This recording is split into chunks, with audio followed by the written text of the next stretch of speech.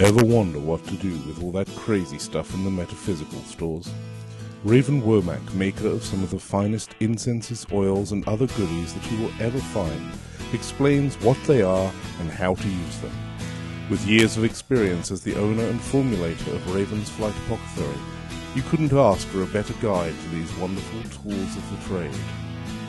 No recipes here, just clear and concise explanations of the oils, lotions, incenses, and herbal products that grace the shelves of New Age stores, witchy emporiums, and metaphysical suppliers.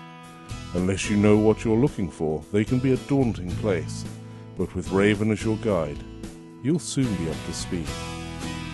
The Raven's Flight Book of Incense, Oils, Potions, and Brews by Raven Womack, published by Pendraig Publishing.